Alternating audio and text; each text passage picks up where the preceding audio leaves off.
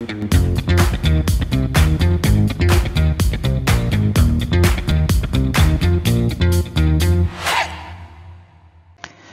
représentation du temps dans l'art. Carole Ecoffet, La nuit des temps 2021. Saturne, dieu du temps, est décrit dans une chanson de Brassens comme un dieu fort inquiétant. Dans les mythologies gréco-romaines, on raconte que Saturne, ou son homologue grec Chronos, mange ses propres enfants. Et c'est ainsi que Rubens ou Goya l'ont représenté, dans des tableaux très sombres. Il est vrai que penser autant n'est jamais une chose très gaie, puisqu'on pense forcément à la durée limitée de notre propre vie.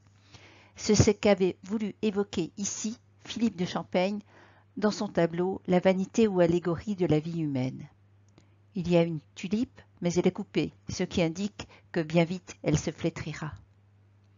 Le crâne, au centre, rappelle qu'il parle de la vie humaine. Un crâne, comme ça, dans un tableau, est souvent appelé vanité ou memento mori, souviens-toi que tu vas mourir. Et enfin, sur la droite du tableau, on voit un sablier, qui évoque bien évidemment le temps, qui est le coupable du flétrissement de toute chose. Peindre, dessiner ou photographier un instrument de mesure du temps, ce n'est pas représenter le temps lui-même. C'est ce paradoxe que Joseph Kossuth illustre dans cette œuvre de 1965, Clock One and Five. On peut y voir la photographie d'une horloge à côté de l'horloge elle-même.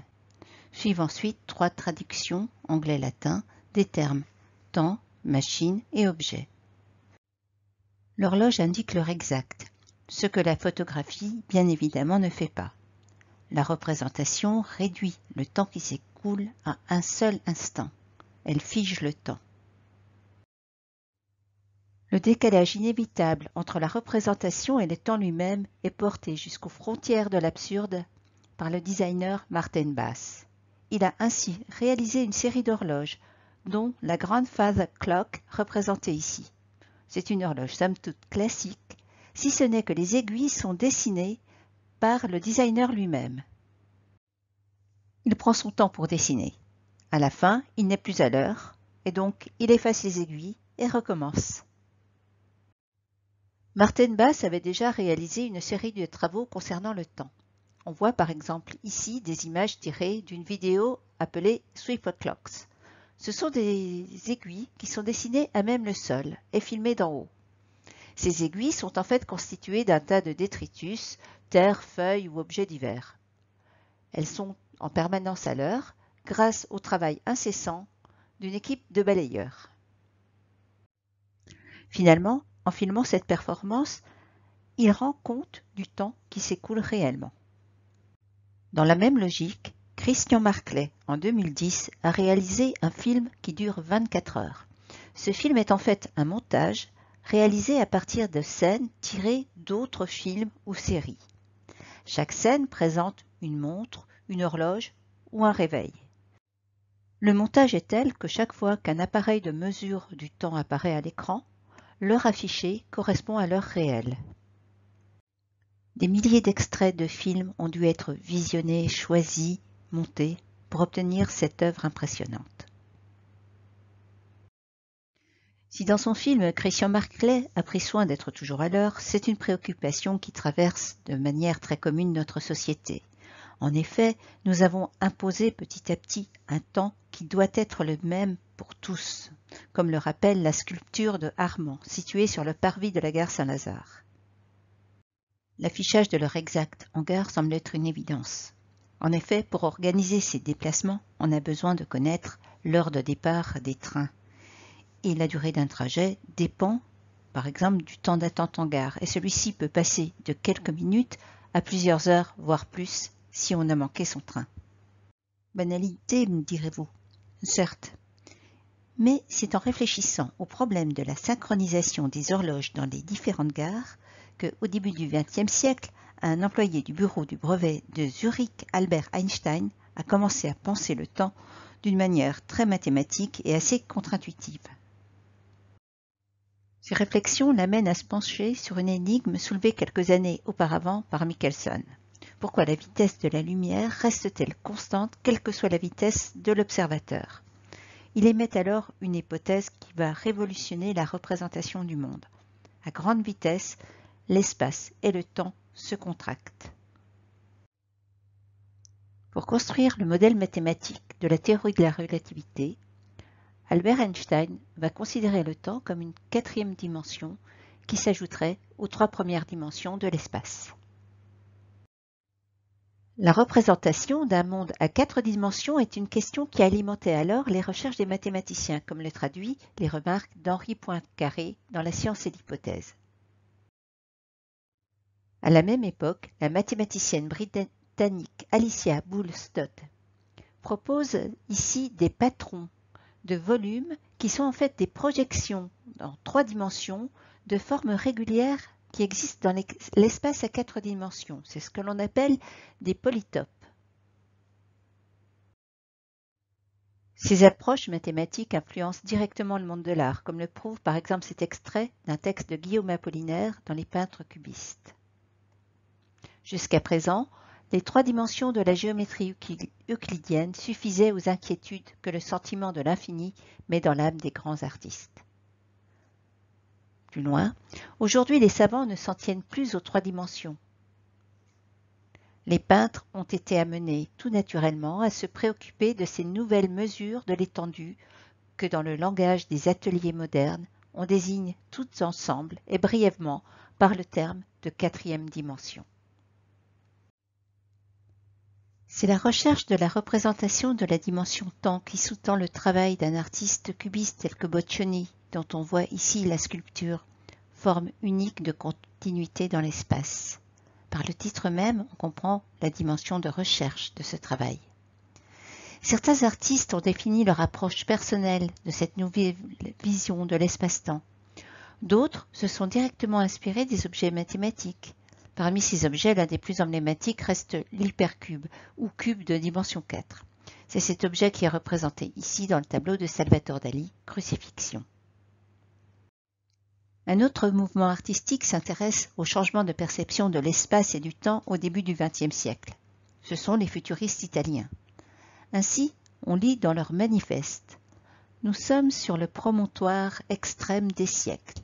À quoi bon regarder derrière nous, moment qu'il nous faut défoncer les vantaux mystérieux de l'impossible Le temps et l'espace sont morts hier, nous vivons déjà dans l'absolu, puisque nous avons déjà créé l'éternelle vitesse omniprésente.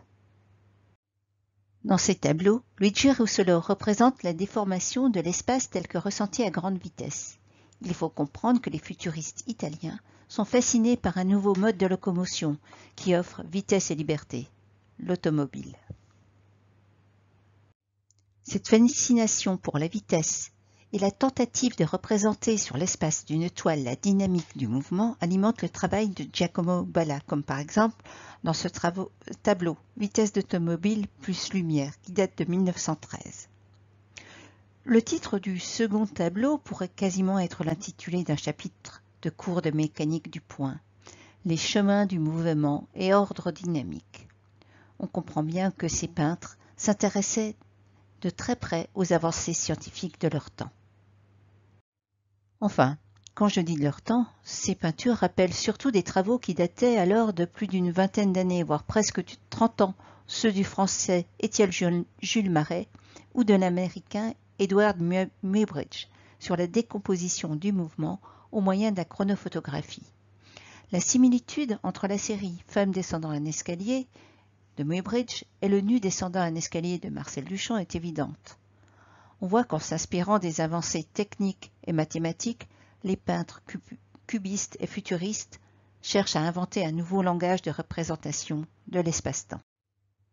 Dans les années 1910, la photographie n'est pas à proprement parler une technique nouvelle. Cependant, sa généralisation apporte un nouveau regard sur le monde. L'instantané permet de figer le temps.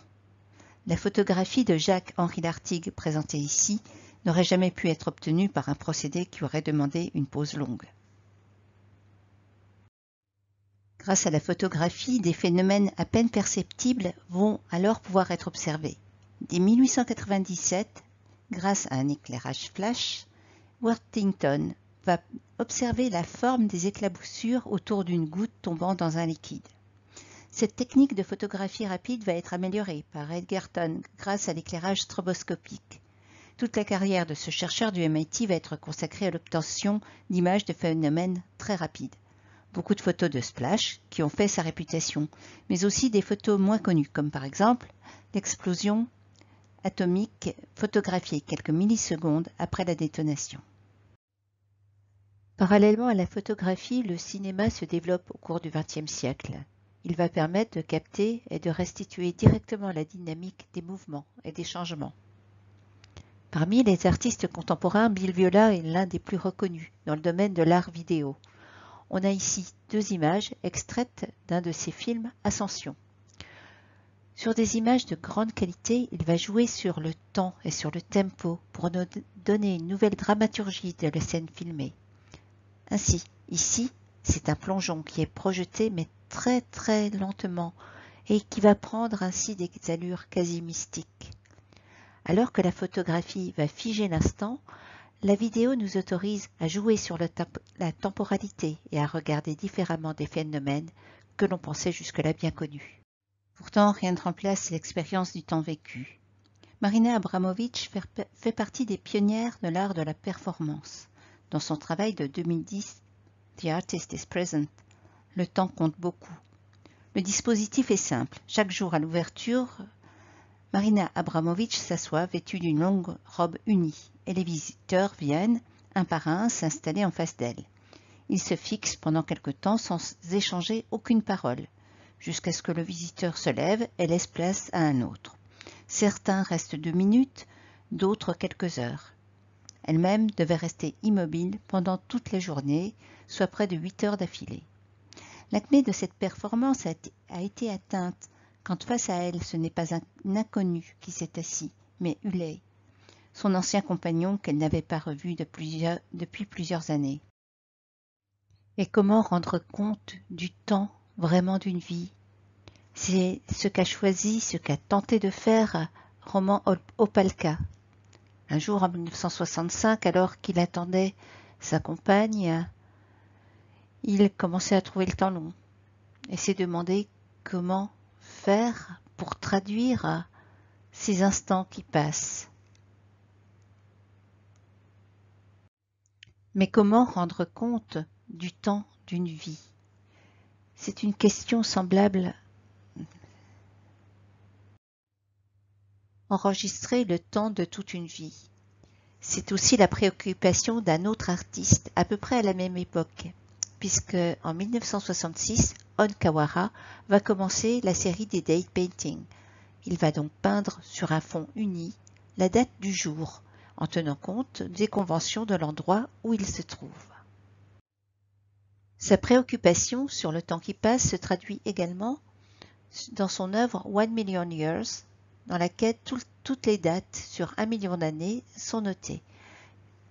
Ceci forme donc un livre petit détail, les premiers exemplaires hein, de ce livre étaient bien sûr dactylographiés, donc euh, tapés à la machine entièrement page après page.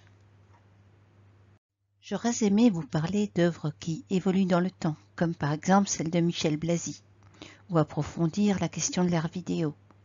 Mais le temps est compté.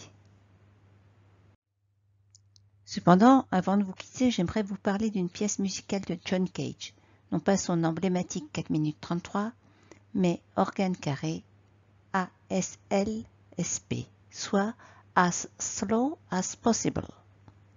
Comme indiqué dans le titre, cette œuvre doit être jouée aussi lentement que possible, mais le temps précis n'est pas indiqué.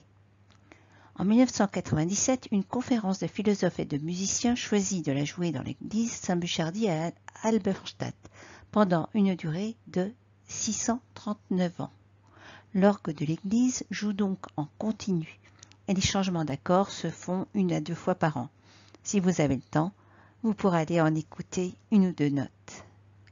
Merci encore pour votre attention et à Merci encore pour votre attention et à bientôt.